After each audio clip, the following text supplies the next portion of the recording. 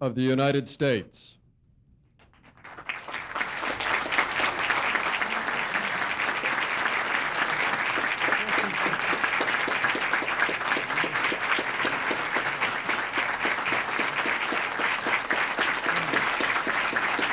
Thank you.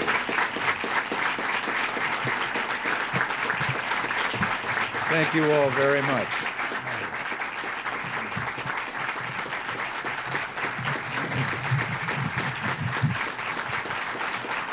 Thank you.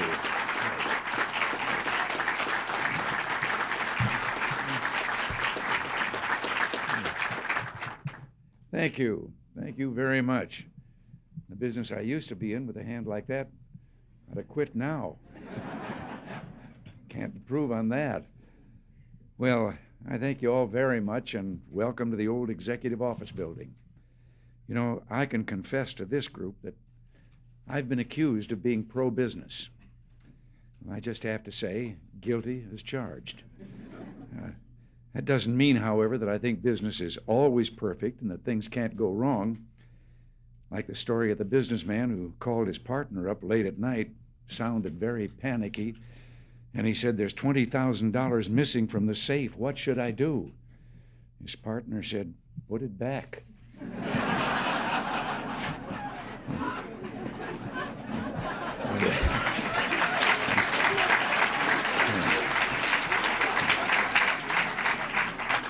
But it's you and entrepreneurs and businessmen and women like you around the country who are carrying this economic expansion into its 55th month. An expansion that's created over 13 million new jobs, that translates into an average of 236,000 new jobs each and every month. As I said, this peacetime expansion has been going on for 55 months. The longest one in our national history so far was 58 months. So that gives us a little less than four months to go till we break the record. What do you say? Let's go for the gold.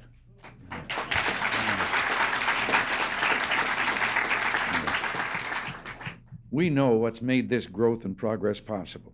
We got government out of your pockets and out of the way. I was once asked what the difference is between a small business and a big business, and I answered, well, a big business is what a small business would be if the government would get out of its way and leave it alone. It's economic freedom that brings economic opportunity. And the many of you who have built your businesses up from scratch know that this thing we call economic freedom isn't some fuzzy philosophical concept, it's a day to day reality for you. It's often a question of survival, the difference between making it or not, between regulations and taxes that are just too steep to hurdle over, and opportunity that gives you running room and a chance to compete. That's why on July 3rd, I stood at the steps of the Jefferson Memorial and spoke of my commitment for the rest of my political career to campaign for an economic Bill of Rights. We saw in the late 60s and 70s how so much of the promise of the civil rights movement seemed to be stolen as our economy faltered, as opportunity was ground down under the heavy hand of big government and the oppressive effects of taxes, inflation, and regulation. Minorities fought a courageous battle to win their rights, to purchase a ticket on the train of economic progress. They won that right, but no sooner had they climbed aboard than they saw that train slow down and grind to a halt. It was a bitter irony that meant more decades of frustration and anger, too often hopelessness and despair. What went wrong? The civil rights movement was one of the proudest moments in our history when our nation righted ancient wrongs, when we extended to all Americans God given rights promised in our Constitution, and we made ourselves live up to our ideals. Those were great achievements in those days, but they just didn't go far enough. It should not be forgotten that the civil rights movement was in great part a struggle against discriminatory government regulations. That's what Jim Crow laws were. It wasn't anything just dreamed up in a neighborhood. This was under the law. But at the same time that some freedoms were being fought for and won, the laws that violated those freedoms were struck down and removed from the books. The government was steadily and massively encroaching on other individual freedoms and the regulatory apparatus reached out to touch and control almost every aspect of our economic life. Civil rights are empty rights if not accompanied by economic opportunity. Our country fought for the right of all to sit at a lunch counter. At the same time, the government was making it harder and harder to own one. We fought for the right of all Americans to hold whatever job they were qualified for, but made it even harder to find any job at all.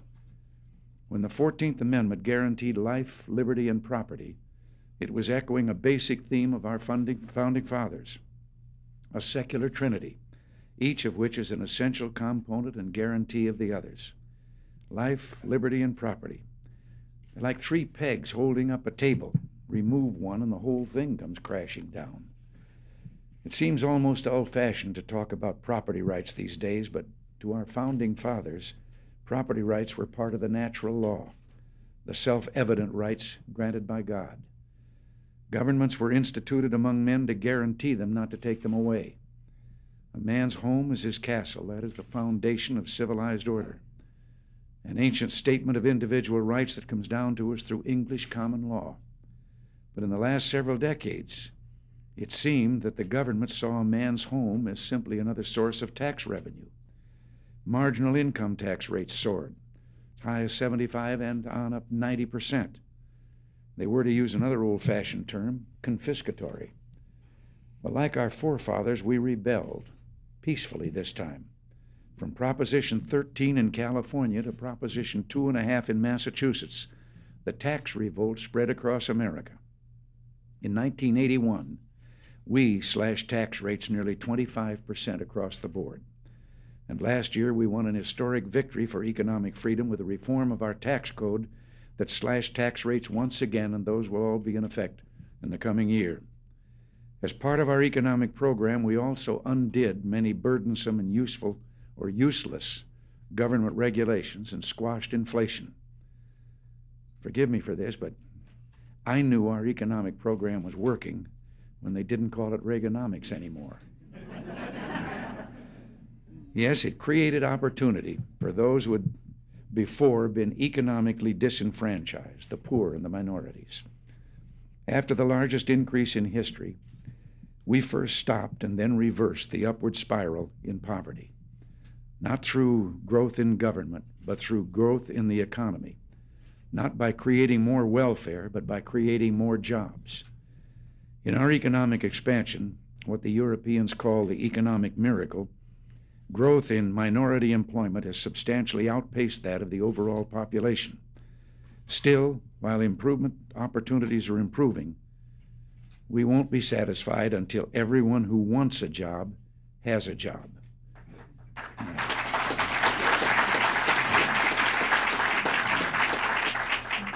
As we've made historic progress these last few years, in great part because we've begun to return to the principles of our founding fathers.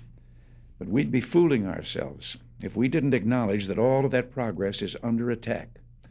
Under attack by a profligate Congress that seems to have learned nothing in the last six years.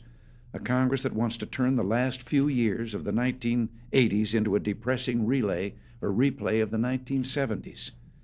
In speech after speech, I've been detailing the pork barrel politics, the billions of dollars of waste.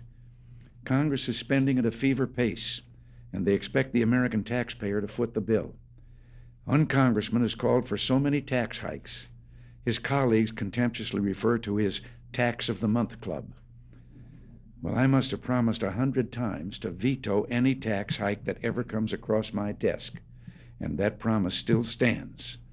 But they keep coming back, calling for more taxes. And I thought I was the one who needed a hearing aid. No, there will be no tax increase while I'm in office.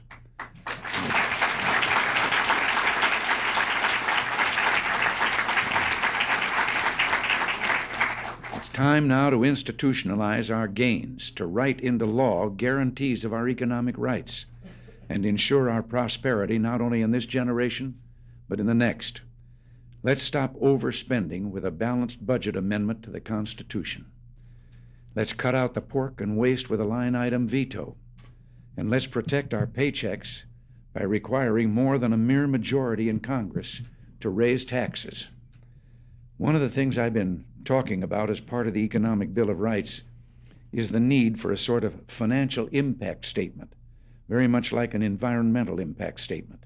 It would require Congress to notify the American people as to the economic consequences of their programs. There's a perfect example of that coming up for a vote in this Congress, something that hits hardest at minorities, young people, and the poor. It's the effort by some in Congress, under pressure from special interests, to raise the minimum wage. It's said that if you put, you know, 10 economists in a room and ask a question, you'll get 10 different answers. I can make jokes like that because my degree was in economics. I thought it was honorary when they gave it to me, but, but you know, that story is not the case with the minimum wage. Most economists agree that raising the minimum wage reduces employment. Economists call it disemployment, but it amounts to the same thing fewer jobs than there would have been. In fact, there are numerous economic studies that make just that point. We've had a lot of years of raises in the minimum wage. Our Labor Department has estimated that every 10% increase in the minimum wage will mean 100,000 to 200,000 fewer jobs. Some in Congress want to raise the minimum wage more than 38% over the next three years. That could mean 800,000 jobs down the drain, jobs that already exist or jobs, hope, and opportunity that will never be created. This administration wants no part of a bill that will cost hundreds of thousands of teenagers and young adults the opportunity to get a job and to get the invaluable experience that goes with it. We won't be party to jinxing another generation. That's the real cost of the minimum wage legislation before Congress. And if eliminating 800,000 jobs is what some in Congress really want to do, then they should be made to stand up and admit as much to the American people. Some 20 years ago, I remember quoting one of the leading commentators of the period. The profit motive is outmoded, he said. It must be replaced by the incentives of the welfare state. The distribution of goods must be affected by a planned economy. It seems incredible to us now, but he was only parroting the accepted wisdom of the period. I called my speech a time for choosing.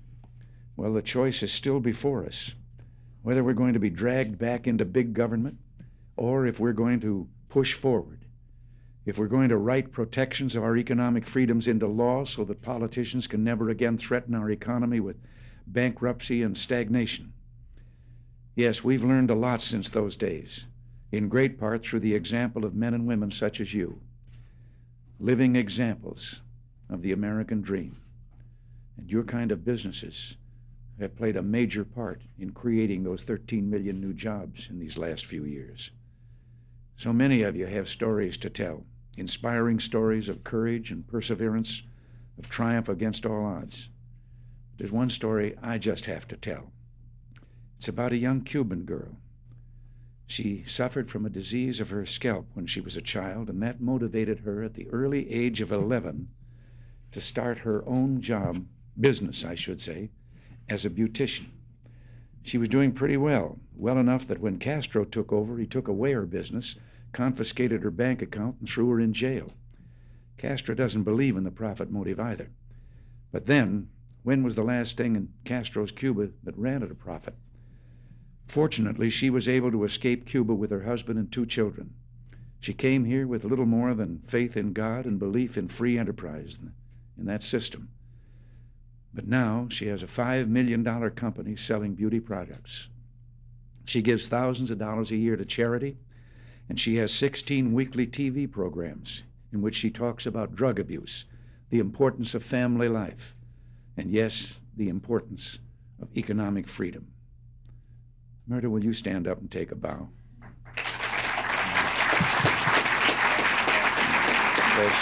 You.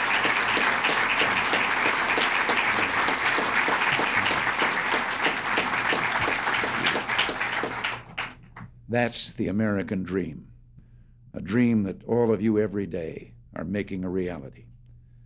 In this time for choosing, let's make sure that it stays that way, that the story of America continues to be the story of people like Myrta de Perales, the story of hope, faith, and freedom.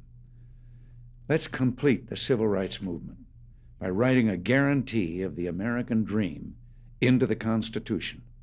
A guarantee that America will always be, for our children and our children's children, the land of opportunity.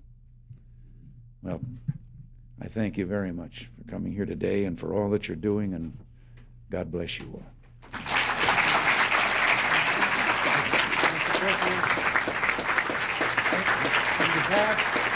Of North Division, I to send these to you.